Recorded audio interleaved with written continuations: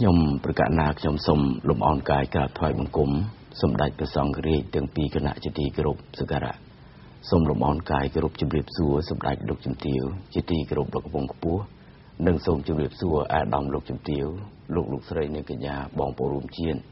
ទូរទស្សនិកជនជាទីគោរពនិងជាទីរាប់អានផងដែរបាននៅក្នុងរាត្រីថ្ងៃច័ន្ទនេះនីតិវិភាគព្រឹត្តិការណ៍សង្គមរបស់យើង ក៏តែងតែវិលមកជួបលោកលោកស្រីនាងកញ្ញាបងប្អូនទៅតាមពេលវេលានិងម៉ោងដែលបានកំណត់ហើយការវិលមកជួបនេះក៏ជាពេលវេលាដ៏មានសារៈប្រយោជន៍មួយដែលបងប្អូនយើងតែងតែទន្ទឹងរង់ចាំផងដែរដែលហេតុថានីតិរបស់យើងក៏តែងតែលើកយកនៅព្រឹត្តិការណ៍សំខាន់សំខាន់ដែលតាក់ទងទៅនឹងកិច្ចការនយោបាយដើម្បីធ្វើការពន្យល់បំភ្លឺជនរួមជាតិដើម្បីឲ្យដើរទាន់ជាមួយនឹងសភាពការ ជៀសវាងការភ័ន្តការច្រឡំដែលធ្វើឲ្យខូចទៅដល់ប្រយោជន៍ជាតិប្រយោជន៍ពុទ្ធប្រជាពលរដ្ឋរបស់យើងបាទហើយដោយឡែកយើងឃើញហើយថាព្រឹត្តិការណ៍ចុងក្រោយ សម្រាប់សប្តាហ៍មុននេះគឺតកតងទៅនឹងសកម្មភាពរបស់គណៈបកប្រឆាំងនៅកម្ពុជាក៏បានបង្ហាញនៅសកម្មភាពដ៏ជ្រុលនិយមផងដែរ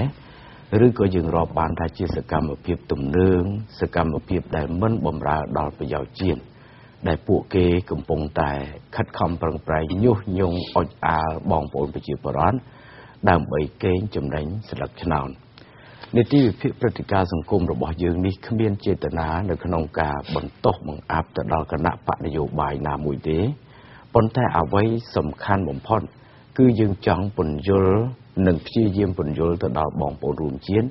ដើម្បីឲ្យស្គាល់នៅអ្វីដែលយើងហៅថាល្បិចកលទុច្ចរិតរបស់អ្នកនយោបាយ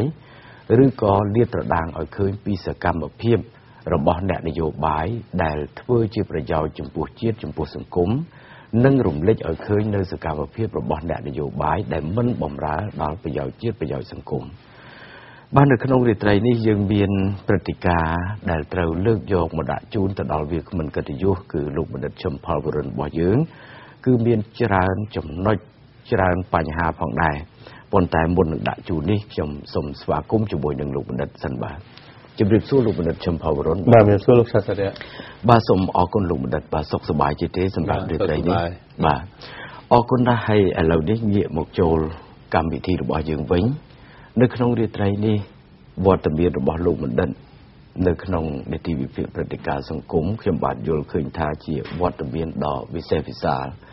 ហើយជាពិសេសគឺលោកបណ្ឌិតតែងតែចំណាយពេលវេលាដ៏មានតម្លៃដើម្បីចូលរួមពន្យល់បំភ្លឺទៅដល់ជនរួមជាតិទៅតាមអ្វីដែលជាគោលបំណងដែលលោកបណ្ឌិតធ្លាប់តែផ្ដល់នៅចំណេះដឹងចំណេះកិនរួមជាមួយនឹងបទពិសោធន៍ផ្ទាល់ខ្លួនទៅដល់ជនរួមជាតិខ្ញុំចង់លើកពីព្រឹត្តិការណ៍ចុងក្រោយដែលតាក់ទងទៅនឹងលោកមេបកប្រឆាំងគឺលោកសំរងស៊ីតែម្ដងបាទ លោកបណ្ឌិតជ្រាបហើយថាលោកសំរងស៊ីជាទូទៅគាត់តែងតែពន្យល់និងប្រាប់ទៅដល់អ្នកគ្រប់គ្រងរបស់គាត់ថាគាត់នឹងវិលមកកម្ពុជាក្នុងពេលឆាប់ឆាប់បាទអញ្ចឹងឆាប់ឆាប់របស់គាត់នេះគាត់ប្រើពាក្យតាំងពីពេលដែលគាត់ចាកចេញពីកម្ពុជាប្រហែលឆ្នាំប្រហែលខែមុនណាហើយមកទល់ដល់ឥឡូវនេះគឺយើងឃើញថាវាមានរយៈពេលហ្នឹងវាជិតទៅ3ឆ្នាំទៅហើយហើយការបោះឆ្នោតក៏ខិតជិតមកដល់ ឥឡូវនេះលោកសំរងស៊ីបានផ្លាស់ប្ដូរអេរិយាប័ត្របានន័យថាកែប្រែសម្ដីរបស់គាត់ ពីការវិលមកកម្ពុជាក្នុងពេលឆាប់ឆាប់មកជាការអត់មកកម្ពុជាទេ ដើម្បីជាការចំណេញផលប្រយោជន៍ទៅដល់គណៈបកថ្មីរបស់គាត់ តែគាត់ចង់មានប្រសាសន៍ថាចេះលោកបណ្ឌិតសូមបញ្ជាក់ម្សិលទៀតគាត់ថាការដែលគាត់មិនវិលមកកាន់ប្រទេសកម្ពុជាដើម្បីចូលរួមបោះឆ្នោតនេះដើម្បីជាការចំណេញដល់គណៈបកថ្មីរបស់គាត់ហើយក៏ជាសកម្មភាពមួយដើម្បីឲ្យសហគមន៍អន្តរជាតិនឹងមិនទទួលស្គាល់លទ្ធផលនៃការបោះឆ្នោតនិងមិនទទួលស្គាល់រដ្ឋាភិបាលថ្មីអញ្ចឹងចំណុចនេះខ្ញុំចង់ ទទួលស្ដាប់នៅទស្សនៈយល់ឃើញរបស់លោកបណ្ឌិតហើយខ្ញុំជឿជាក់ថាទូទស្សនិកជនក៏កំពុងតែតាមដានជាមួយនឹងអ្វីដែលគាត់ចង់ដឹងអំពីការអំពីទស្សនៈរបស់លោកបណ្ឌិតផ្ទាល់បាទបាទអរគុណណាស់លោកសាស្ត្ររៈនេះជាបរិបទនយោបាយបច្ចុប្បន្នភាពមួយរបស់គណៈបកប្រឆាំងជាពិសេសភាពតច្រករបស់លោកសំរងស៊ីបាទប៉ុន្តែខ្ញុំចង់ជម្រាបទៅបងប្អូនជាពលរដ្ឋខ្មែរដែលកំពុងតែតាមដាននិងត្រៀម សម្រាប់ឆន្ទៈនយោបាយរបស់ខ្លួននៅលើស្លឹកឆ្នោតនៅថ្ងៃ28កក្កដា2013នេះអាចមើលឃើញហើយជាពិសេសអ្នកគ្រប់គ្រងនិងសមាជិកសមាជិការបស់គណៈបពប្រឆាំងរបស់លោកសំស៊ីហ្នឹងបាទបានសេចក្តីថាលោកសំស៊ីគាត់ជាមនុស្សភូតភរ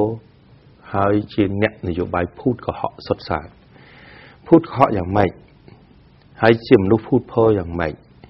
យើងអាចមើល នៅពេលដែលគាត់ប្រព្រឹត្តអំពើល្មើសនឹងច្បាប់ព្រំមិនទាន់បានទៅដកបកគោលតម្រុយព្រំដែននោះគាត់ចាក់ចេញពីកម្ពុជាបាទហើយក្រោយមកតឡាការបានកាត់ទោសគាត់ឲ្យមានទោសបាទចាប់ពីពេលនោះមកលោកសំនឹងស៊ីគាត់និយាយថាគាត់នឹងមកកម្ពុជាឆាប់ឆាប់ហើយមិនមែនតែលោកសំស៊ីទេទាំងតែអនុប្រធានគាត់ឥឡូវខ្លាយជាមេបតិញមុខបាទហ្នឹង ក៏សន្យាថាមកឆាប់ឆាប់ហ្នឹងការទុកប្រហែលខែចេញទៅក្រៅប្រទេសហ្នឹងហើយសូម្បីតែសង្គមស៊ីវិលដែលគ្រប់គ្រងបពប្រឆាំងហ្នឹងក៏គេបន្តដែរថាសំរងស៊ីនឹងវិលមកឆាប់ឆាប់នឹងវិលមកឆាប់ឆាប់ហើយជាពិសេសលោកបណ្ឌិតចាំទេគ្រាន់តែវត្តមានរបស់បារ៉ាក់អូបាម៉ាអញ្ជើញមកប្រជុំអាស៊ានរបស់យើងហ្នឹងក៏គេបានអះអាងដែរគេថាគេនឹងជិះយន្តហោះជាមួយអូបាបាមកកម្ពុជាទៀតបាទដូច្នេះយើងមើលអ្វីដែលគាត់ថាគឺសិទ្ធិរបស់ភូតហើយមុននឹងគាត់ បានន័យថាមុននឹងលោកសំរងស៊ីក្រមមេដឹកនាំបននយោបាយប្រឆាំងរបស់គាត់ហ្នឹងអឺភូតប្រជាពលរដ្ឋជាពិសេសភូតសមាជិកសមាជិកានិងអ្នកគ្រប់គ្រងគណៈបពប្រឆាំងគឺដំបូងបំផុតគឺគាត់ភូតខ្លួនឯងសិនហើយតែខ្ញុំហ៊ានថាលោកសំរងស៊ីភូតខ្លួនឯងនៅត្រង់ថាលោកសំរងស៊ីមិនមែនមិនដឹងថាគាត់មកកម្ពុជាអត់បានទេគាត់ដឹងច្បាស់ណាស់ ហើយមិនមែនគាត់មិនដឹងថាមកកម្ពុជាអត់បានដោយសាររដ្ឋាភិបាលមិនអោយមកទេរដ្ឋាភិបាលពុំបានដេញគាត់ចេញហើយរដ្ឋាភិបាលក៏ពុំបានហៅឬហាមគាត់ចូលដែររឿងរបស់គាត់ទាំងអស់ជាការសម្រេចចិត្តរបស់គាត់គាត់ចេញក៏គាត់ចេញគាត់ចូលគាត់មិនចូលរឿងរបស់គាត់ឯរឿងទទួលទោសវាជារឿងនៃការទទួលខុសត្រូវខាងមុខច្បាប់ទេ ហើយជាធម្មតាបើលោកសំស៊ីក្លាហាន គួរតែគាត់មិនមែនមកទទួលទោសទេមកតវ៉ាតស៊ូមតិនៅក្នុងសវនាការតឡាការទៀតណាបើសិនតែគាត់មនុស្សក្លាហានបាទប៉ុន្តែលោកសំស៊ីភូតខ្លួនឯងគឺគាត់មិនមកបែរទៅជាថាបរទេសនឹងយកគាត់មកឬក៏បរទេសនឹងដាក់សម្ពាធមករដ្ឋាភិបាលកម្ពុជាដើម្បីឲ្យបើកផ្លូវឲ្យសំស៊ីមកបាទតែហ្នឹងមុននឹងគាត់ បញ្ចេញសម្លេងភូតទៅសមាជិកសមាជិកានិងសមាជិកគណៈបករបស់គាត់ហ្នឹងអ្នកគ្រប់គ្រងគណៈបកគាត់ហ្នឹងគឺលោកសំស៊ីភូតខ្លួនឯងបានដែរបាទហើយភូតខ្លួនឯងទៅលោកមីលោកថោងរួមទាំងអនុប្រធានគាត់ពីមុនហើយឥឡូវជាមេបតិញមកហ្នឹងហើយនឹងនិយាយអស់ទៅប្រហែលអាទិត្យមុនសូម្បីភរិយាគាត់ក៏ក៏ក៏បន្តតាមលោកសំស៊ីថ្មីថ្មីថាលោកប្រធាននឹងមក អញ្ចឹងមុននឹងបន្លឺការភូតនឹងឮទៅដល់ទៅជាប្រជាពលរដ្ឋគឺគាត់ភូតខ្លួនឯងរួចបាត់ហើយខ្ញុំ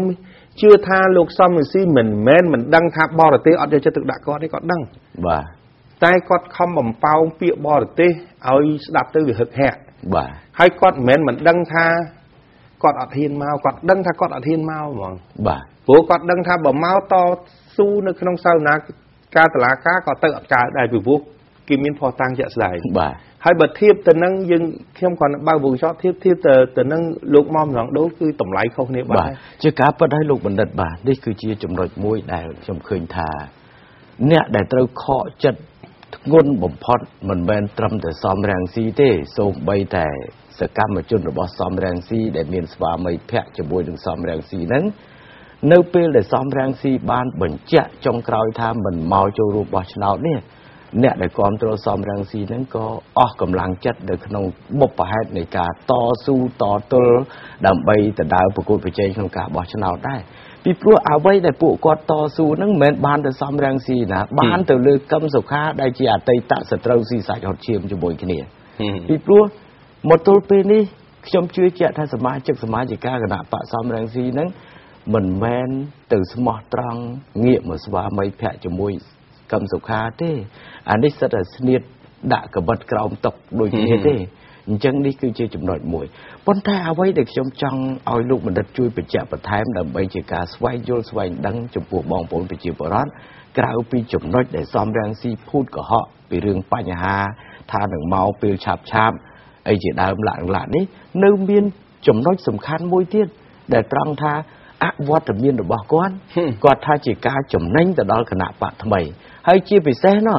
គឺជាការមួយដែលដើម្បីអំពាវនាវដល់សហគមន៍អន្តរជាតិទី1មិនទទួលស្គាល់លទ្ធផលនៃការបោះឆ្នោតទី2អវត្តមានរបស់គាត់ក្នុងការចូលរួមបោះឆ្នោតធ្វើឲ្យសហគមន៍អន្តរជាតិមិនទទួលស្គាល់រដ្ឋាភិបាលថ្មីអញ្ចឹងចំណុចនេះលោកបណ្ឌិតមានអីដើម្បីពន្យល់ជូនប្រជាពលរដ្ឋបន្ថែមលើការយល់ឃើញរបស់បងប្អូនទៀតបាទបាទ ដើម្បីងាយយល់ខ្ញុំប្រើពាក្យសាមញ្ញមួយសិនរួចខ្ញុំខ្ញុំបញ្យល់បាទអ្វីដែលលោកសំស៊ីខំនិយាយថាគាត់ឥឡូវសម្រាប់ចិត្តមិនមកដើម្បីជាយុទ្ធសាស្ត្រឈ្នះឈ្នះអីបងប្អូនហ្នឹងហើយដូចមិញថាដើម្បីឲ្យបរទេសអត់ទទួលស្គាល់លទ្ធផលបោះឆ្នោតទទួលស្គាល់រដ្ឋាភិបាលថ្មីបាទពាក្យអះអាងរបស់គាត់ទាំងអស់ហ្នឹងប្រៀបដូចជាយកកន្សែងជូតទឹកភ្នែកទេបាទថាជាពាក្យពេច ន៍នៃកន្សែងជូតទឹកភ្នែកបាទបានន័យថាគាត់ភូតខ្លួនឯងហ្នឹងប្រៀបដូចជាការហូរទឹកភ្នែកទៅហើយ ដែលនៅពេលដែលគាត់សម្រេចចិត្តថាអត់ត្រឡប់មកកម្ពុជាហ្នឹងគឺទឹកភ្នែកហូរហើយដល់អញ្ចឹងដើម្បីកុំឲ្យគេឃើញទឹកភ្នែកគាត់ហូរគាត់មុននឹងចេញទៅបង្ហាញសម្លេងទៅប្រជាប្រដ្ឋក៏យកកសែងជូតទុកឲ្យហើយហ្នឹងជាវិធីយកកសែងជូតទឹកភ្នែកទេហើយមិនបានយើងហ៊ានថាជាវិធីសាស្ត្រយកកន្សែងជូតទឹកភ្នែកដោយសារតែ ទី1ការបោះឆ្នោតមួយ ដែលមិនមែនជាការបោះឆ្នោតជ្រើសរើសប្រធានាធិបតីផ្ទុយទៅវិញជាការបោះឆ្នោតតាមបែបសភានិយមគឺបោះឆ្នោតជ្រើសតាំងសមាជិករដ្ឋសភាហើយផលនៃលទ្ធផលបោះឆ្នោតរដ្ឋសភាបានកើតជាការជ្រើសតាំងនាយករដ្ឋមន្ត្រី និងរាជរដ្ឋាភិបាលអាណត្តិថ្មីបាទ សួរថាការបោះឆ្នោតនឹងអាចទទួលយកជាប្រជាធិបតេយ្យសេរីយុត្តិធម៌ដោយពឹងផ្អែកទៅលើតួអង្គសមងស៊ីឬក៏គេកណនាទៅលើដំណើរការប្រព្រឹត្តទៅដំណើរការរៀបចំនិងការចូលរួមរបស់ប្រជាពលរដ្ឋបាទបើសិនជាលោកសមងស៊ី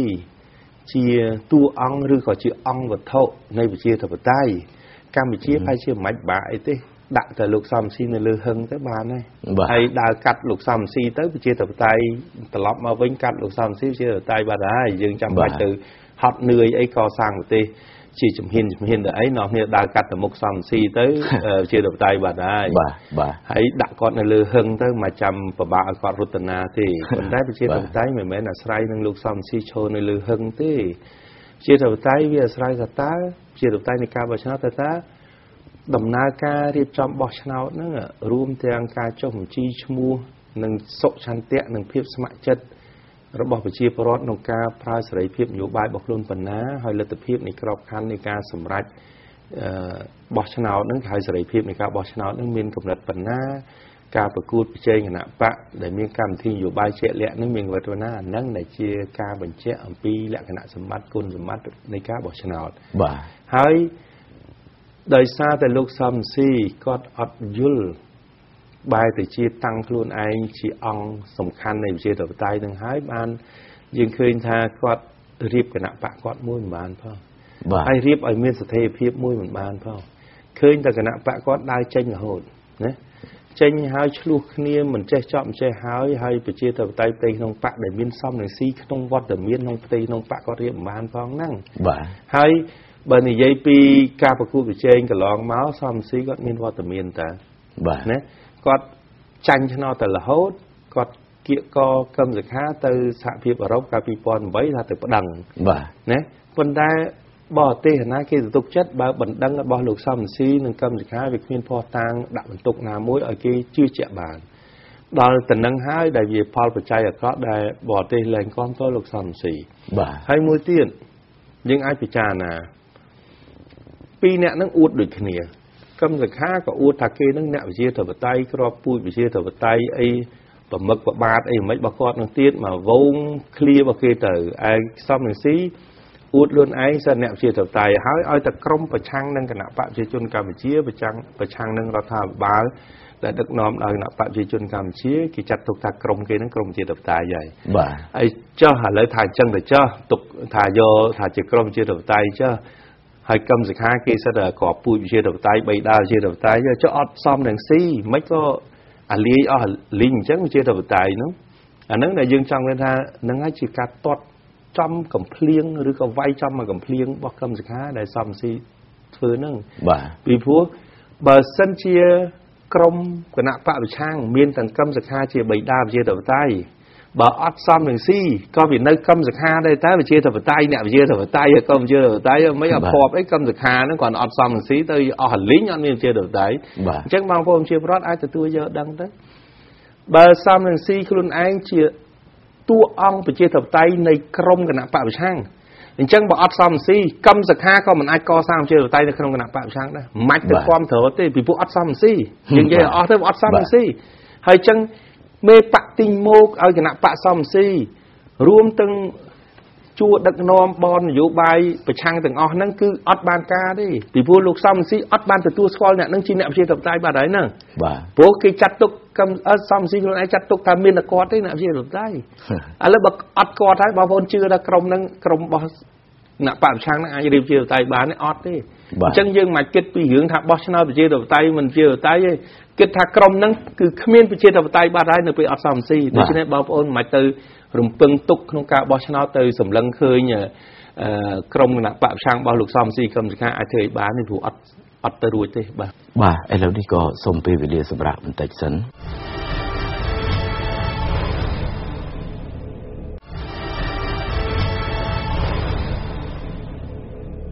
បាទមុននេះគឺយើងបានសម្រាប់បន្តិចហើយឥឡូវនេះខ្ញុំបានក៏នឹងសូមអនុញ្ញាតនៅពេលវេលានេះផ្ដល់ឱកាសជូនលោកបណ្ឌិតឈឹមផលវរុនជាបន្តទៀតបាទ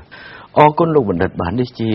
ចំណុចសំខាន់មួយដោយដែលលោកបណ្ឌិតបាន ធ្វើការបញ្យលជូនទៅដល់ជនរួមជាតិ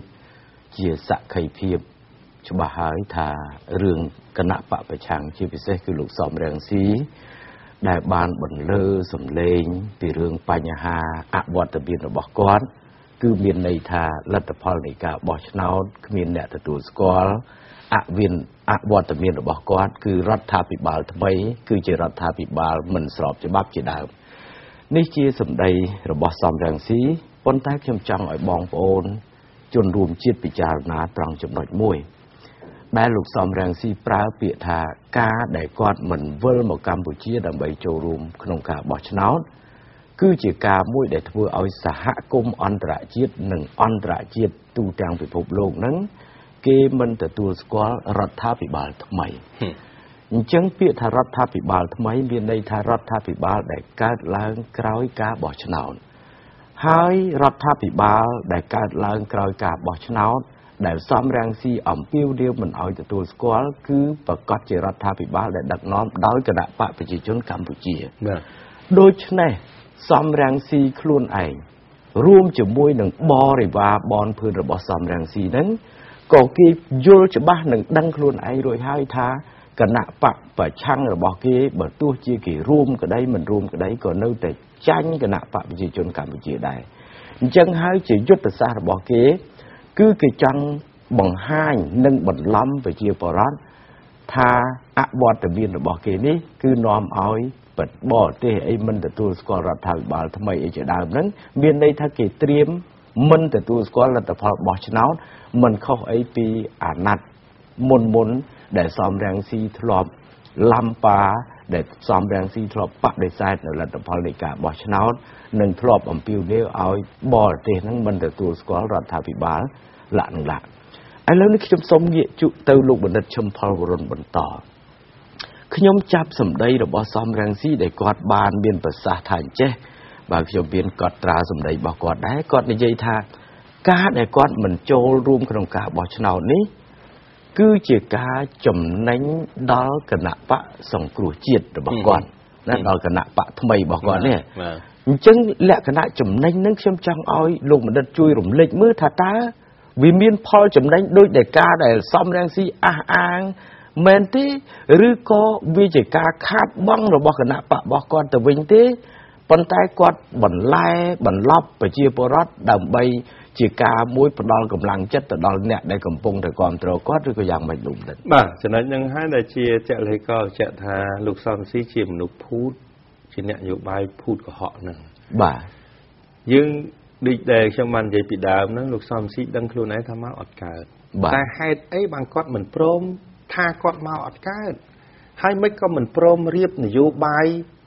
ដែលគ្មានវត្តមានសមស៊ីនៅកម្ពុជា បាទរយៈពេលប្រហែលឆ្នាំនេះ យើងអាចយកប្រៀបធៀបឥឡូវថាយើងបង្ហាញគំរូអឺនៃការដឹកនាំប្រទេសដោយគណៈបកប្រជាជនគេសំស៊ីគេមិនទទួលយកឥឡូវខ្ញុំឲ្យទៅយកគំរូអឺលោកថាក់ស៊ីនទៅបាទបាទលោកថាក់ស៊ីននៅពេលដែលគាត់និតិទេសចេញពីប្រទេសថៃដោយហេតុផលអីផ្សេងក៏ដោយប៉ុន្តែគាត់ពុំបាន ភូតប្រជាពលរដ្ឋថៃដែលគ្រប់គ្រងគាត់ថាគាត់នឹងមកវិញឆាប់ឆាប់ទេណាបាទផ្ទុយទៅវិញលោកថាក់ស៊ីនរៀបចំនយោបាយនៅក្នុងស្រុកជាមួយនឹងក្រមនយោបាយរបស់គាត់គឺជាការរៀបគោលនយោបាយដែលគ្មានលោកថាក់ស៊ីនបាទតែនឹងហើយនេះការទទួលស្គាល់ភាពពិតជាក់ស្ដែងដែលលោកថាក់ស៊ីនទទួលស្គាល់ការពិតហ្នឹងទើបលោកថាក់ស៊ីនអាចជាមេដឹកនាំនយោបាយមួយឃ្លាតឆ្ងាយពីប្រទេស ប៉ុន្តែរៀបឲ្យក្រុមរបស់គាត់អាចបន្តដឹកនាំប្រទេសបាន បាទរហូតដល់អ្នកកាន់អំណាចនៅទីក្រុងបាងកករកវិធីកំចាយក្រុមរបស់លោកថាក់ស៊ីនម្ដងជាពីរដងបាទរហូតដល់ចុងក្រោយ ប្រើវិធីផ្សេងផ្សេងរហូតដល់មិនចប់ចុងក្រោយបោះឆ្នោតចុងក្រោយនៅតែក្រុមលោកថាក់ស៊ីនរហូតដល់ឥឡូវក្រុមលោកថាក់ស៊ីនដដែលគឺអ្នកស្រីយីងឡាបាទ ទៅនឹងដោយសារលោកសំស៊ីគាត់មិនព្រមទទួលស្គាល់ការពិតគាត់ស្រែកបំពងសិទ្ធិតែប្រជាពលរដ្ឋគ្រប់គ្រងគាត់ណាស់ដូចកម្មសខាអញ្ចឹងបាទណាបាទចាញ់ឆ្នោតគេថាគាត់ថាគេបន្លំគាត់មិនព្រមថាគាត់អន់ទេណាបាទតែអញ្ចឹងបើសិនគាត់ធ្វើនយោបាយអត់ទទួលស្គាល់ការពិតពាក្យដែលទទួលស្គាល់ការពិតមិនចាំបាច់ថាល្បីដោយលោកថាក់ស៊ីនទេ ឲ្យទទួលស្គាល់ការពិតថាគាត់មិនអាចមកកម្ពុជាបាន ដើម្បីគាត់រៀបយុទ្ធសាស្ត្រនយោបាយដោយគ្មានវត្តមានគាត់ដូចលោកថាក់ស៊ីនអញ្ចឹងបាទរឿងប្រជាប្រិយមិនជាមិនប្រជាប្រិយវាជាតម្លៃនៃតម្ងន់គេហៅសក្តានុពលនយោបាយរបស់បុគ្គលបាទប៉ុន្តែសក្តានុពលនយោបាយរបស់បុគ្គលនឹងអាចសាបសូន្យបើសិនជាបុគ្គលនោះមិនទទួលស្គាល់ការពិតបាទផ្ទុយទៅវិញបុគ្គលនោះទៅជាភូតខ្លួនឯងហើយភូតប្រជាពលរដ្ឋបាទលោកបណ្ឌិតតកតងទៅនឹងប្រជាប្រិយភាពនេះផងដែរអានឹងយើងឃើញថាបើប្រៀបធៀបតួអង្គលោកថាក់ស៊ីនជាមួយនឹងអ្នកនយោបាយខ្មែរគឺលោកសំរងស៊ីហ្នឹងឃើញថាលោកសំរងស៊ីនេះគឺគ្មានគ្មានប្រជាប្រិយភាពអីក្រៅពីភាពអាសោចរបស់គាត់ក្រៅពីសកម្មភាពដែលគាត់បង្កនៅភាពចលាចលក្នុងប្រទេស ក្រៅពីអ្នកគ្រប់គ្រងគាត់ដកសេចក្តីទុកចិត្តពីសំរងស៊ីជាបន្តបន្តប៉ុណ្ណោះទេប៉ុន្តែនៅមានចំណុចអាចកំបាំងមួយទៀតខ្ញុំគិតថារឿងប្រជាប្រិយភាពនេះគឺគាត់វាមិនសូវមានទៅហើយបាទមិនសូវមានទៅហើយមិនមែនថាគាត់អត់មានទេគាត់មានខ្លះដែរដោយសារថានៅមានអ្នកគ្រប់គ្រងបន្តិចបន្តួចប៉ុន្តែរឿងសំខាន់មួយទៀតខ្លាចក្រែងគាត់គ្មានប្រជាប្រិយភាពនៅក្នុងបកនោះ ដែលកូនចៅរបស់គាត់នឹងគឺកំពុងតែបង្កបញ្ហាប្រទីងប្រទង់គ្នាដណ្ដើមអំណាចបកពួកនិយម គ្រួសារនិយមនៅក្នុងផ្ទៃបកតើវាអាចជាហេតុផលមួយដែលសំរងស៊ីមិនអាចគ្រប់គ្រងបកខ្លួនឯងនឹងបានផងឬក៏យ៉ាងម៉េចបានជាគាត់មិនព្រមដើរតាមនយោបាយដែលដែលគាត់នៅក្រៅប្រទេសមិនអាចចូលស្រុកបាននោះលោកបណ្ឌិតបាទទៅនឹងជាការសរបញ្ជាក់ថាគណៈបករបស់គាត់គ្មានប្រជាធិបតេយ្យផ្ទៃក្នុងបកបាទ បាទបើគណៈបកមួយ មានប្រជាធិបតេយ្យផ្ទៃក្នុងបកទោះបីជាអវត្តមានឬក៏ការឃ្លាតឆ្ងាយរបស់មេបកប៉ុន្តែដំណើរការប្រកបដោយសក្តានុពលរបស់គណៈបកនៅតែមានតែយើងងាកមើលគណៈបកប្រឆាំងបាទជាគណៈបកដែលមានលក្ខណៈជា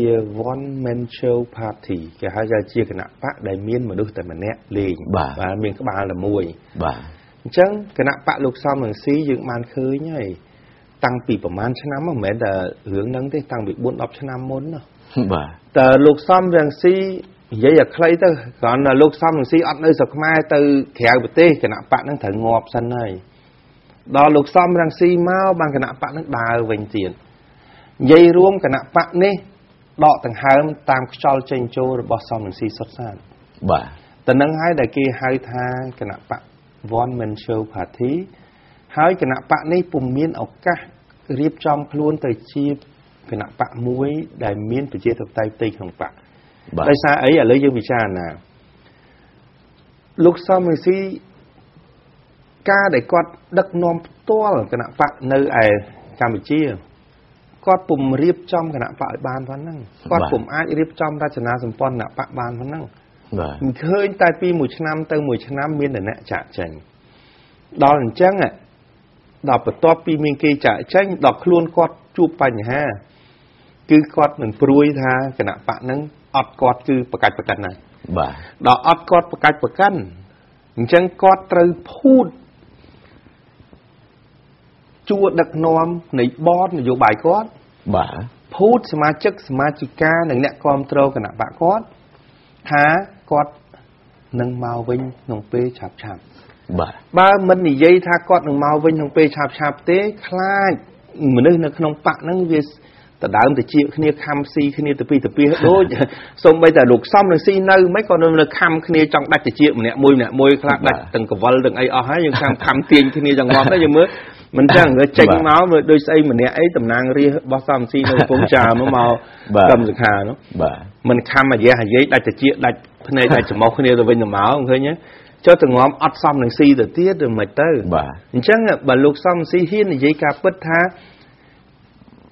មិនបានមកទេសូមឲ្យពួកឯងខំប្រឹងគ្រាន់ឮប៉ុណ្ណឹងអាពួកឯងខំប្រឹងខំប្រឹងខំឆ្លោះគ្នាបែកបាក់គ្នាបណ្ដោយអញ្ចឹងលោកសំស៊ីត្រូវតែបង្ខំចិត្តភូតដល់ឥឡូវគាត់ឃើញថាតល់ជ្រោឲ្យភូតទៅវាអត់កើតចិត្តដល់ថ្ងៃហើយត្រូវតែសារភាពថា អ្វីអ្វីអញភូតទាំងអស់ប៉ុន្តែគាត់និយាយពាក្យហ្នឹងមិនកើតត្រូវតែប្រើពាក្យយុទ្ធសាស្ត្រថ្មីឈ្នះឈ្នះធ្វើអញ្ចឹងបានចំណេញគណៈគាត់អីចឹងទៅអាហ្នឹងគឺវិធីយកកសែជួយទឹកភ្នែកចឹងអរគុណលោកបណ្ឌិតបាទអញ្ចឹងតាមរយៈណែពាក្យដែលសំរងស៊ីថាចំណេញហ្នឹងខ្ញុំសម្រាប់ខ្ញុំខ្ញុំណែដូចជាយល់ឃើញមួយបែបហាក់បីដូចជាចង់និយាយថា វាមិនខុសពីលោកបណ្ឌិតប្រមាណទេប៉ុន្តែខ្ញុំមានការយល់ឃើញផ្សេងទៅវិញហើយឆ្លៀឱកាសនេះសូមចូលរួមជាមួយលោកបណ្ឌិតបន្តិចដែរសម្រាប់ខ្ញុំខ្ញុំយល់ឃើញថាអ្វីដែលលោកសំរាំងស៊ីលើកឡើងថាការដែលគាត់មិនចូលរួមក្នុងការបោះឆ្នោតនេះគឺជាការចំណេញដល់គណៈបកថ្មីរបស់គាត់ហ្នឹងគឺខ្ញុំគ្រប់គ្រងនឹងឯកភាពនេះគឺដោយផ្អែកទៅលើសារបាន និងដោយផ្អែកទៅលើប្រវត្តិនៃការប្រកួតប្រជែងរបស់សំរាំងស៊ី នៅក្នុងវេទិកាប្រជាធិបតេយ្យនៃការបោះឆ្នោតកន្លងមកលោកសំរងស៊ីនេះដឹកនាំបករបស់គាត់បើគិតមកដល់ថ្ងៃនេះជិត20ឆ្នាំហើយហើយ20ឆ្នាំរបស់សំរងស៊ីនេះគឺមិនខុសអីពីពាក្យថា20ឆ្នាំក្នុងគុកទេហើយក៏មិនខុសអីក៏ពីពាក្យដែលថា20ឆ្នាំដែលស្ថិតនៅក្នុងភាពបរាជ័យនោះទេហើយភាពអាម៉ាស់របស់គាត់ដែលធ្វើឲ្យគាត់អាប់អោនគេឈ្មោះកិត្តិយសបំផុត គឺគាត់ចាញ់ឆ្នោត3អាណត្តិកន្លងមកឆ្នាំ2008 2003និង98អូសំទោសឆ្នាំ98 2003និង2008អញ្ចឹង3ប្រកួតផ្ទួតផ្ទួតនេះ វាសំលមមនឹងសំរាំងស៊ីអស់កិត្តិយសអស់គេឈ្មោះហើយសូម្បីតែក្មេងបៀមដៃក៏គេអស់ជំនឿលើសំរាំងស៊ីដែរអញ្ចឹងដែលគាត់និយាយថា ចំណេញដល់គណៈបកថ្មីរបស់គាត់ខ្ញុំគិតថាពិតជាចំណេញពីព្រោះថាទោះបីជាមានវត្តមានសំរាំងស៊ីក្តីអវត្តមានសំរាំងស៊ីក្តីក៏គណៈបកថ្មីរបស់គាត់នឹងបរាជ័យដែរអញ្ចឹងបំណាច់នឹងបរាជ័យដដែលបំណាច់នឹងคล้ายទៅជានាយករដ្ឋមន្ត្រីខ្ចលនាយករដ្ឋមន្ត្រីឧទាហរណ៍របស់សំរាំងស៊ីដដែលនោះអញ្ចឹងកុំចូលរួមប្រកួតក៏ជាការសន្សំនៅគេឈ្មោះបានខ្លះដែលត្រង់ថា កុំតែខ្ញុំមិនបានមកចូលឈ្មោះកុំតែខ្ញុំមិនបានមកប្រកួតទេកុំអីខ្ញុំឈ្នះណែវាបានទៅនឹងវាសំបានទៅនឹងនេះគឺជាការចំណេញទី1របស់សំរងស៊ីចំណេញទី2ទៀតរបស់គណៈបកថ្មីនៃពួកប្រឆាំងចំណេញអីចំណេញអត់អស់លុយថ្លៃកប៉ាល់ហោះជីមកចូលរួមបោះឆ្នោតឬក៏ជីមកចូលរួមប្រកួតប្រជែងនេះគឺជាការចំណេញ ប្រកាសហើយដែលសំរងស៊ីមានប្រសាសន៍ហ្នឹងក៏ប៉ុន្តែខ្ញុំគ្រាន់តែជម្រាបជូនជនរួមជាតិថាគំនិតរបស់សំរងស៊ីគឺជាគំនិតមួយដែលបង្ហាញនៅភាពទុច្ចរិតបិទបាំងនៅអំពើអាក្រក់បិទបាំងនៅភាពអសមត្ថភាពរបស់ខ្លួននឹងជ្រាលជ្រៅណាស់ហើយខ្ញុំក៏សម្ដែងការគោរពផងដែរចំពោះលោកតាលោកយាយមៀមមីងជនរួមជាតិទាំងអស់ ដែលបានស្គាល់នៅមារយាទពិតរបស់សំរងស៊ីហើយបងប្អូនតែងតែដាក់ទណ្ឌកម្មចំពោះគណៈបពប្រឆាំងដោយប្រមូលផ្ដុំគ្នាងាកមកគ្រប់គ្រងគណៈបកប្រជាជន ជាពិសេសគឺគោលនយោបាយដឹកនាំរបស់សម្ដេចអគ្គមហាសេនាបតីតេជោហ៊ុនសែនជាទីពឹងទីរលឹករបស់យើងលោកបណ្ឌិតនៅពេលដែលខ្ញុំលើកដល់រំលឹកទៅដល់សម្ដេចអគ្គមហាសេនាបតីតេជោហ៊ុនសែនប្រមុខរាជរដ្ឋាភិបាលរបស់យើងនេះ ខ្ញុំបានចាប់អារម្មណ៍ជាមួយនឹងប្រសាសន៍មួយឃ្លាបាទដែលសម្ដេចលោកបានមានប្រសាសន៍កាលពីប្រហែលថ្ងៃមុននេះគឺតកតងទៅនឹងការអាណិតការស្រឡាញ់ជឿជាក់ទុកចិត្តសូមបោះឆ្នោតជូនគណៈបកប្រជាជន ដែលមានន័យថាបើស្រឡាញ់ហ៊ុនសែនសូមឲ្យបោះឆ្នោតជូនគណៈបកប្រជាជន បើអាណិតសម្ដេចហ៊ុនសែនបោះឆ្នោតជូនគណៈបកប្រជាជន ត្រង់ប្រសាសន៍4ឃ្លា4ម៉ាត់នេះ បានធ្វើឲ្យគណៈបកប្រឆាំងប្រតិកម្មភ័យស្លន់ស្លោជាមួយនឹងការលើកឡើងរបស់សម្ដេចដោយគេចោទប្រកាន់ថានេះសម្ដេចបានឃោសនាដើម្បីស្វែងរកសន្លឹកឆ្នោតមុនការឃោសនាអីជាដើមឡាក់នឹងឡាក់អញ្ចឹងខ្ញុំចង់ឲ្យលោកមនិតជួយប្រៀបធៀបជាមួយនឹងប្រសាសន៍4ម៉ាត់គត់ដែលប្រមុខរាជរដ្ឋាភិបាលសម្ដេចអគ្គមហាសេនាបតីតេជោហ៊ុនសែនលោកមានប្រសាសន៍នឹងការបក ឃោសនារបស់ពួកប្រឆាំងអស់រយៈពេល5ឆ្នាំពេញនេះ5ឆ្នាំពេញនេះថាតើតម្លៃនិងចរិតនៃការឃោសនាហ្នឹងមានលក្ខណៈខុសគ្នាយ៉ាងម៉េចសូមអញ្ជើញលោកនិតបាទទីមួយខ្ញុំនិយាយមួយពាក់ព័ន្ធនឹងការចាប់ប្រកាន់ហើយខាងប្រព័ន្ធផ្សព្វផ្សាយបរទេសនិយាយខេមរៈវិសាគេនាំគ្នាចាប់ប្រកាន់ថាសម្ដេចមុខរាជរដ្ឋាភិបាលជាឱកាសឃោសនា មុនការបោះឆ្នោតបាទហើយពួកគាត់អត់ព្រមទៅសម្លឹងមើលចុះកម្មសិក្ខាសំស៊ីនិយាយតាំងប្រហែលឆ្នាំហើយសាប់ហើយមិនត្រឹមឃោសនាឲ្យបោះឆ្នោតគណៈបកខ្លួនទេណាឃោសនាកុំឲ្យបោះឆ្នោតគ្រប់គ្រងគណៈបកប្រជាជនទៀតណាហើយមិនមែនឃោសនាហ្នឹងគឺពលិចហ្មងគឺគឺនយោបាយថោកទាបហ្មងណារហូតដល់ប្រើពាក្យសិទ្ធិណាដូរតកងឡានមិនចេះមិនចុះមាក់ងាយទៅលើអឺលក្ខណៈសម្បត្តិរបស់បុគ្គលទៀតណាបាទហើយ អ្វីដែលសម្ដេចប្រមុខរាជរដ្ឋាភិបាលមានប្រសាសន៍ហ្នឹងវាជាពេលវេលាដែលពេលខ្លះក៏ជាការសំស្របដែលគួរឆ្លើយតបដែរបាទហើយមិនមែនជារឿងខុសទេពីព្រោះមិនមែនទោះបីមានពាក្យថាបោះឆ្នោតឲ្យគណៈបកប្រជាជនក៏ពិតមែនប៉ុន្តែប្រមុខរាជរដ្ឋាភិបាលចង់បញ្ជាក់អំពីភាពពិតជាក់ស្ដែងដែលប្រជាពលរដ្ឋស្រឡាញ់ពេញចិត្តសម្ដេចហើយការស្រឡាញ់ពេញចិត្ត សក្តានុពលនយោបាយនៃការដឹកនាំប្រទេសរបស់គាត់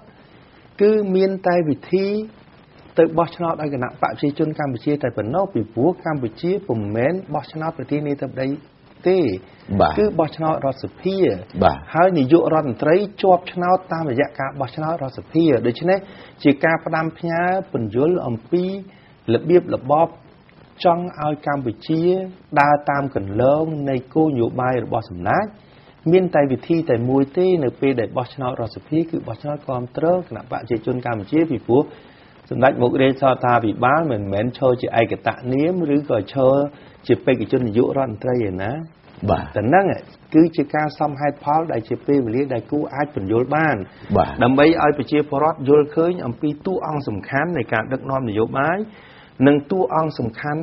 នៃគណៈបកនយោបាយបាទហើយមួយទៀតដែលខ្ញុំចង់បញ្ជាក់ យើងឃើញសន្និបាតឬមហាសន្និបាត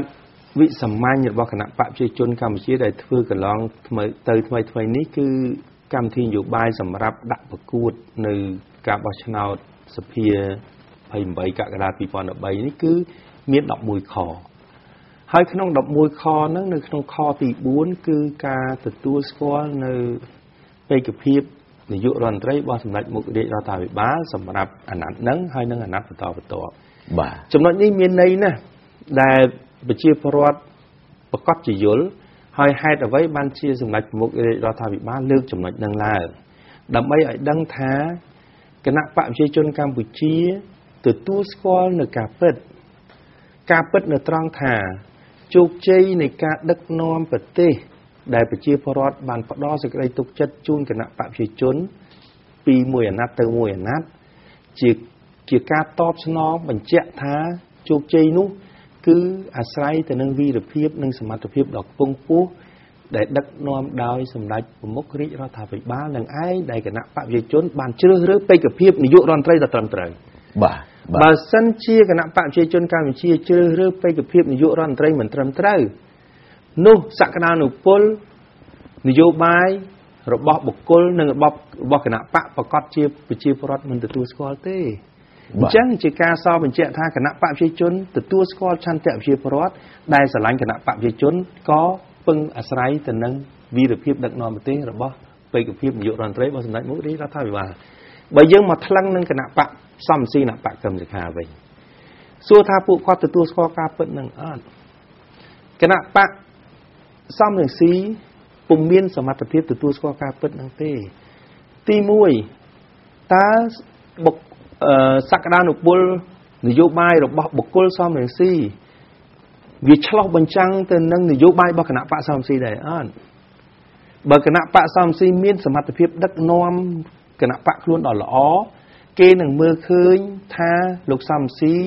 គ្មានសមត្ថភាពក្នុងការដឹកនាំគណៈបកសំស៊ីឲ្យ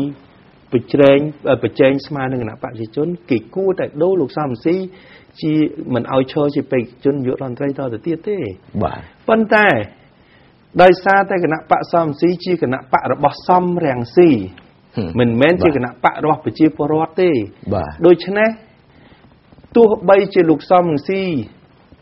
ធ្លាក់ឆ្នោតមួយលានដងក៏ដោយក៏នៅតែលោកសំរាំងស៊ីឈរឈ្មោះជានាយកបេក្ខជនយុរដ្ឋមន្ត្រីដដែល ដោយសារអីដោយសារគណៈបកនឹងជាគណៈបករបស់សំរាំងស៊ីបាទបាទឥឡូវនេះក៏សូមពេលវេលាសម្រាប់បន្តិចសិន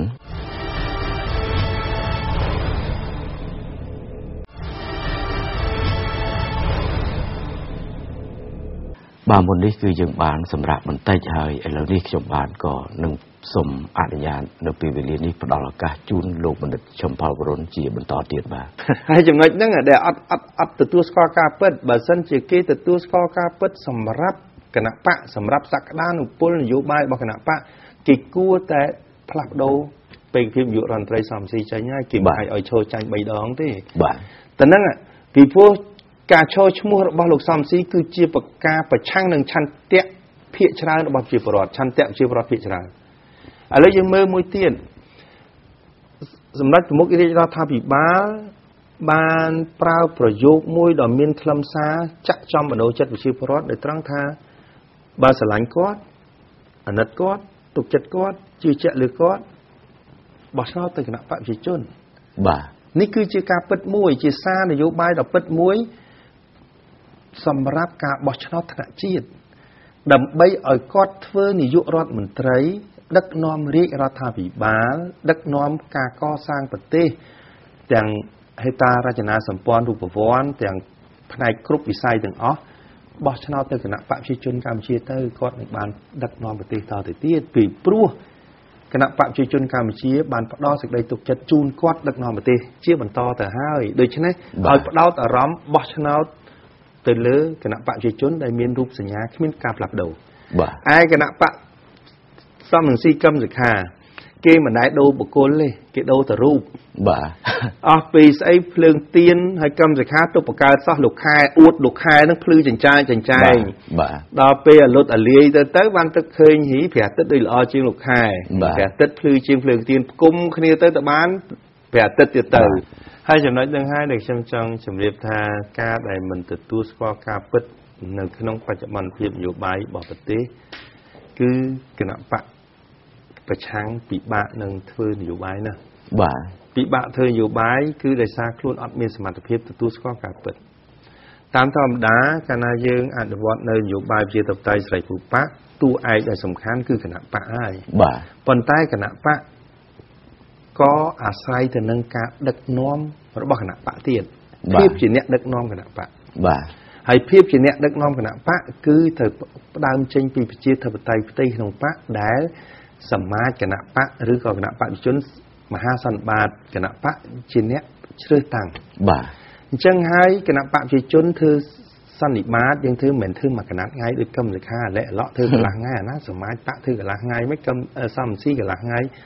គឺគេធ្វើយ៉ាងហោចណាស់ក៏2ថ្ងៃហ្នឹងវិសាមញ្ញណាបើតាមតាមដៅគេធ្វើ3ថ្ងៃទៅមួយអាទិត្យព្រោះតិចការងារនយោបាយសម្រាប់5ឆ្នាំ10ឆ្នាំមិនមែនជារឿងលេងទេបាទវាត្រូវពិភាក្សាពីក្រោមទៅលើបាទហើយយើងមើលមហាសន្និបាតគណៈបកឬក៏សមាជគណៈបកវាមានទួនាទីធំណាស់ក្នុង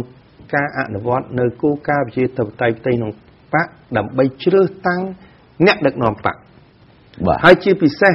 មិនមែនជ្រើសតាំងតែអ្នកដឹកនាំបកទេជ្រើសតាំងអិសរាជជនក្នុងការទៅដឹកនាំប្រទេសដឹកនាំរដ្ឋាភិបាលទៀតបាទអញ្ចឹងហើយបានគណៈបកប្រជាជនកម្ពុជាមានបទពិសោធន៍ក្នុងការអនុវត្តប្រជាធិបតេយ្យផ្ទៃក្នុងបកកន្តរីចម្រើនឡើងហ្នឹងបាទគឺបញ្ជាក់ជាអឡារឹកនិងជាសាធារណៈជូនប្រជាប្រដ្ឋខ្មែរទូទៅឲ្យបានដឹងថាគណៈបកប្រជាជនកម្ពុជាទទួលស្គាល់ជានិរន្តរ៍នៅសមត្ថភាពដ៏ខ្ពង់ខ្ពស់ក្នុងការដឹកនាំប្រទេស ចំណុចហ្នឹងខ្ញុំជឿថាបងប្អូនជាប្រដ្ឋខ្មែរប្រកាសជាមិនទាន់ភ្លេចនៅឡើយទេកន្លងមកនឹងជាញឹកញាប់គេតែងចោទប្រកាន់ថាសម្ដេចនាយករដ្ឋមន្ត្រីកាន់អំណាចរហូតជាង30ឆ្នាំណាគេថាមិនដែលមានទេនៅប្រទេសប្រជាធិបតេយ្យហើយប្រជាធិបតេយ្យគេមិនធ្វើអញ្ចឹងតាមពិតពួកគាត់នឹងឈ្នាននេះទេមិនមែនរឿងបញ្ហានៃការយល់ដឹងពីប្រជាធិបតេយ្យទេ បើរបបនយោបាយប្រធានាធិបតីនិយមគេកំណត់មនុស្សម្នាក់អាចធ្វើប្រធានាធិបតីតែពីអាណត្តិអាហ្នឹងគឺត្រឹមត្រូវហើយដែលគេអនុវត្តសប្តាហ៍ថ្ងៃបាទប៉ុន្តែសម្រាប់ប្រទេសដែលអនុវត្តនៅប្រព័ន្ធគ្រប់គ្រងបែបសភានិយមគេអត់ដែលកំណត់នៅអាណត្តិនាយករដ្ឋមន្ត្រីទេបាទគឺវាអាស្រ័យទៅនឹងលទ្ធភាពផ្ទៃក្នុងរបស់គណៈបកនីមួយៗបាទពីព្រោះគណៈបកជាអ្នកឈរឈ្មោះបោះឆ្នោតដណ្ដើមអាសនៈក្នុងសភា អញ្ចឹងបើគណៈបកណាគេយល់ឃើញថាអិសរាជននយោបាយណា ជាអិសរាជនកម្ពុជាក្នុងការចូលឈ្មោះជាបេក្ខជននាយករដ្ឋមន្ត្រីវាជាសិទ្ធិផ្ដាច់មុខរបស់គណៈបកណាអញ្ចឹងគេអត់ដែលកំណត់ទេ ដល់ខាងកឹមសខាក្តីសំរងស៊ីក្តីគិតថាដរាបណាសម្ដេចនាយករដ្ឋមន្ត្រីហ៊ុនសែននៅតែឈរឈ្មោះអញប្រហែលប៉ះកៅអីនាយករដ្ឋមន្ត្រីអត់បានហ្មងព្រោះមិនមែនចង់និយាយថាក្រាញអំណាចទេ តែពួកគាត់នេះខ្មាស់មិនហ៊ាននិយាយថាសម្ដេចនាយករដ្ឋមន្ត្រីគាត់ខ្លាំងជាងអញគាត់ហ៊ាននិយាយគាត់ទៅកន្លែងទៅថាគេក្រាញ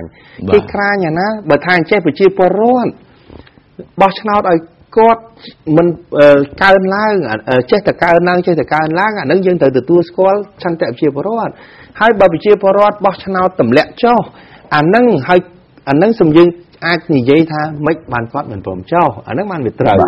ប៉ុន្តែបើយើងពិនិត្យមើលគណៈបកប្រជាជនកម្ពុជាកើនស្លឹកឆ្នោតជាលំដាប់ទាំងស្លឹកឆ្នោតទាំងអាសនៈរដ្ឋសភាណាពី51ទៅ 64ពី64ទៅ73 73ទៅ90ឥឡូវយើងគិតទៅបាទអត់មានតន់ចុះបន្តិចតើវាមានហេតុផលអ្វីដែលបញ្ជាក់ថានាយករដ្ឋមន្ត្រីអឺអនុវត្តគោលនយោបាយធ្វើឲ្យប្រជាពលរដ្ឋអត់ពេញចិត្តវាគ្មានហេតុផលអ្វីធ្វើឲ្យគណៈបកប្រជាជនកម្ពុជា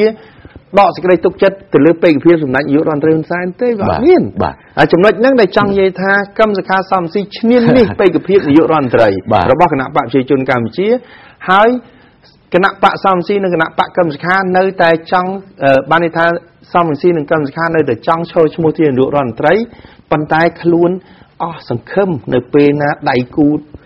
ឬក៏គណៈបកប្រជាជននៅតែ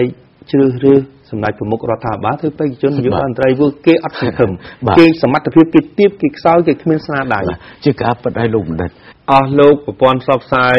បរទេសនិយាយខេមរៈភាសាហ្នឹងក៏គេរៀបចំយុទ្ធនាការ ជួយគណៈបពប្រឆាំងបាទហើយអស់លោកមេដឹកនាំអង្គការ NGO និន្នាការប្រឆាំងហ្នឹងឬក៏និន្នាការជំទាស់ជាមួយនឹងរដ្ឋាភិបាលនិងគណៈបព្វជិជនហ្នឹងគឺគេក៏កំពុងរៀបយុទ្ធនាការដើម្បីជួយលើកទឹកចិត្តជាប្រយោជន៍ដល់គណៈបកប្រឆាំងដែរបាទប៉ុន្តែខ្ញុំគ្រាន់តែជំរាបបញ្ជាក់ទៅវិញបើចង់ជួយគណៈបកប្រឆាំង គេអត់ធ្វើដោយមេដឹកនាំគណៈបកអឺអង្គការ NGO ប្រឆាំងនឹងប្រព័ន្ធផ្សព្វផ្សាយបរទេសនិយាយសារខ្មែររបៀបហ្នឹងទេបាទទង្វើទាំងអស់នេះវាមានន័យស្មើនឹងបំផ្លាញគណៈបកប្រឆាំងទៅវិញទេបាទខ្ញុំអាចលើកអាហ្នឹងបើសិនជាយើងនាំគ្នាយកពាក្យថារិះគន់ដើម្បីស្ថាបនាយកមកនិយាយអ្នករិះគន់រដ្ឋាភិបាល អ្នករិះគន់គណៈបកប្រជាជនរាប់ឆ្នាំមកហើយ ប៉ុន្តែដំណើរវិវត្តនៃការកសាងប្រទេសនិងការកសាងបករបស់គណៈបកប្រជាជន មានការធ្វើដំណើរទៅមុខណាស់ប៉ុន្តែអ្នកដែលតិចទៀនគណៈបកប្រជាជននិងគណៈបកអឺនិងរាជរដ្ឋាភិបាលសូម្បីតែអង្គការ NGO ចិត្តអាលាយខ្លួនអស់ហើយនេះអស់លោកដាក់ជេរនេះបាទបរទេសឡើងជួយនេះអត់មានហ្វាន់អត់មានអីធ្វើទេគិតតែពីកើតបង្កើតរឿងដើម្បីលក់យកលុយមកបំរើក្រុមគ្រួសារដូច្នេះអស់សកម្មភាពឥឡូវ គ្រាន់តែខ្ញុំស្ទង់មតិប្រជាពលរដ្ឋជាស្ថានយើងស្ទង់ពេលដែលមានបញ្ហាសួរថាអ្នកឯងមានរត់ទៅពឹងអ្នកណាទេនៅក្នុងនោះយើងសួរយើងដាក់ជាចម្លើយទៅពឹងអង្គការក្រៅរដ្ឋាភិបាលអត់មានហ្មងបានន័យថាអង្គការក្រៅរដ្ឋាភិបាលនេះគឺពុំមែនជាសារៈប្រយោជន៍របស់ប្រជាពលរដ្ឋនៅពេលដែលមានបញ្ហាក្នុងសង្គមទេបាទអាហ្នឹងដែលអង្គការក្រៅរដ្ឋាភិបាលកំពុងធ្វើខុសហ្នឹងអខ្ញុំលើក យើងបញ្ជាក់មួយទៀតបើយកគោលការណ៍តិចទៀនដើម្បីស្ថាបនាណាយកមកអនុវត្តចំពោះគណៈបកប្រឆាំងនេះខ្ញុំជឿថាលោកសំស៊ីក៏កែចរិតខ្លះដែរក្នុងរយៈពេលជិត20ឆ្នាំកន្លងទៅនេះបាទប៉ុន្តែបើយើងមើលមើលលោកសំស៊ីជេរគេកា10 20ឆ្នាំមុននឹងជេរឥឡូវដូចតែគ្នាបាទហើយអាចខូចជាងមុនផងអភិវឌ្ឍដែរតែវិវត្តទៅផ្លូវអាក្រក់អញ្ចឹងបាទដល់កឹមសខា អាឡេអាឡោះអស់គណៈបកមួយមកមកមកជីកបីច្រឡងផុតផុកតាមរយៈគណៈបកព្រំពេជ្រមកបង្កើតអង្គការអាលីអង្គការមួយមកបង្កើតគណៈបកសិទ្ធិមនុស្សបាក់ពីអីហាអួត48ទៅជាង60មកអស់58ជាង60បាន13ឥឡូវចិត្តអាលាយគណៈបកហ្នឹងបាទត្រូវថិតនៅក្រោមក្លៀកលោកសំស៊ីវិញបាទសួរថាតើគួរតែតិចទៀនអស់លោកនឹងឲ្យមានចរិតប្រជាធិបតេយ្យទេ តែហ្នឹងបើអស់លោកគណៈអស់លោកអង្គការ NGO និងប្រព័ន្ធផ្សព្វផ្សាយដែលចង់ជួយគណៈបពប្រឆាំងគួរតែងាកទិសដៅមកតិចទៀនក្នុងន័យស្ថាបនាមកលើអស់លោកគណៈបពប្រឆាំងនឹងឡើងវិញបាទសូមសូមសូមអរគុណលោកបាទបាទដោយសារតែពេលវេលារបស់យើងបានឈានដល់ទីបញ្ចប់ហើយគួរឲ្យសោកស្ដាយមែនទែនដោយសាររឿងបញ្ហាគណៈបពប្រឆាំងនេះគឺនៅមានច្រើនណាស់ដែលចង់សុំការពន្យល់ពីលោកបណ្ឌិត ដើម្បីជាការចែកជូនទៅដល់ជនរួមជាតិដែលកំពុងតែតាមដានទស្សនាដោយសារថាពេលវេលានៃការឈ្មោះទៅរកការបោះឆ្នោតឆ្នាំ2013នេះក៏កាន់តែគៀកកាន់ហើយចរិតញុះញង់របស់គណៈបកប្រឆាំងគឺកាន់តែព្រៃផ្សៃប៉ុន្តែជាសំណាងដែរលោកបណ្ឌិតនៅពេលដែលសកម្មភាពនៃការញុះញង់របស់គណៈបកប្រឆាំងកាន់តែព្រៃផ្សៃប្រជាពលរដ្ឋ កាន់តែមើលឃើញថាបកប្រឆាំងគឺរឹតតែជាជនខលខូចនិងជាជនដែលមិនគួរឲ្យជឿទៅលើសកម្មភាពរបស់ពួកគាត់ពីព្រោះថាការសន្យារបស់គាត់នឹងវាជ្រុលហួសហេតុពេកគេហៅថាសន្យាផ្កាយលើមេឃអញ្ចឹងឈោងចាប់ក៏មិនដល់បានតែសម្លឹងមើលដោយគ្មានន័យគ្មានខ្លឹមសារដោយសារពេលវេលាបានឈានដល់ទីបញ្ចប់ខ្ញុំបាទសូមអរគុណសម្ដេចលោកជំទាវអាដាមលោកជំទាវ សមាជិកសមាជិកាគណៈបកប្រជាជនលោកលោកស្រីនាងកញ្ញាបងប្អូនរួមជាតិគ្រប់មជ្ឈដ្ឋានទាំងក្នុងនិងក្រៅប្រទេស ដែលបានតាមដានទស្សនាតាមដានពិចារណាវិភាគជាមួយនីតិយើងតាំងពីដើមដល់ចប់សម្រាប់ពេលនេះខ្ញុំបាទសូមអរគុណសូមជម្រាបលាបាទ